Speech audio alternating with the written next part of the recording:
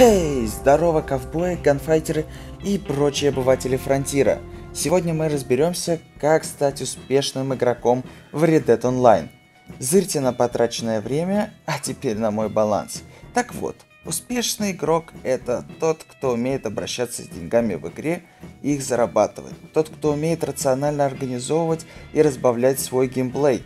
И тот, кто досконально изучил все ее аспекты – с вами Order Project и я представляю свои правила успешного игрока в Red Dead Online.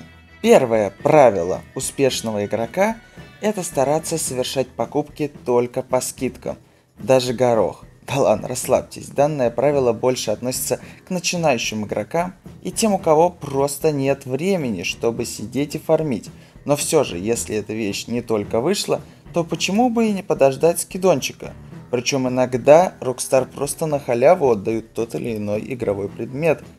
Правило номер два. Выгодно разбавлять свои обычные фарм занятия на другие занятия. К примеру, сегодня вы набиваете повозку торговца, возите самогон и ловите преступников, а завтра помогаете незнакомцам, проходите контракты кровавых денег и собираете коллекционные предметы. Ну а на следующий день залетайте, к примеру, в противоборство или устраивайте покатушки с друзьями по карте. Опять-таки, по пути можете пособирать коллекционки. Для чего вообще это правило? Да просто повторение одних и тех же действий раз за разом – это безумие. Ну или вы просто гринд-машина, набивающая бессмысленную цифру. Ну и не забывайте про активности, за которые Rockstar дают на 50%, или в два раза, или в три раза больше – Фарм, разбавленный другими выгодными и интересными занятиями, залог успеха. Третье правило. Не забывайте про пряжки. Это отличный способ заработать золотишко и опыт. Четвертое правило очень простое. Всегда имейте с собой провизию и тоники, ведь герои не умирают. Постоянное наличие еды и тоников увеличит вашу выживаемость на Диком Западе. Пятое правило – не забывайте про делики. Отлично гармонирует с правилом номер два. Да, выплаты уменьшили с выходом расширения роли охотника за головами, но все же, приятно, когда падает даже копеечка золота, чисто за то, что вы прошли мимо магазина в городе, в котором находитесь, или, к примеру, поели рагу в лагере. Да и за счет этого появляется дополнительная мотивация заглядывать в игру каждый день.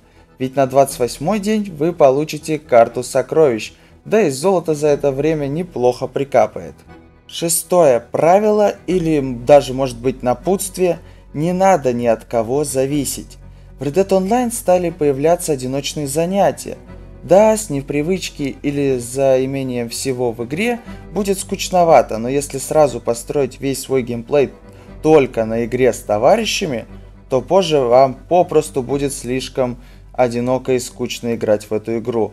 Ну а если нет компании, одному все же уже наскучило, то в нашей группе вы сможете подыскать себе напарника или даже целый отряд или клан в зависимости от платформы. Ну и в заключении седьмое правило, все эти правила это чисто то, как я вижу успешного игрока в Red Dead Online. Ваш список этих правил может быть меньше или наоборот даже больше, ну а на этой прекрасной ноте всем спасибо, всем удачи, всем пока-пока.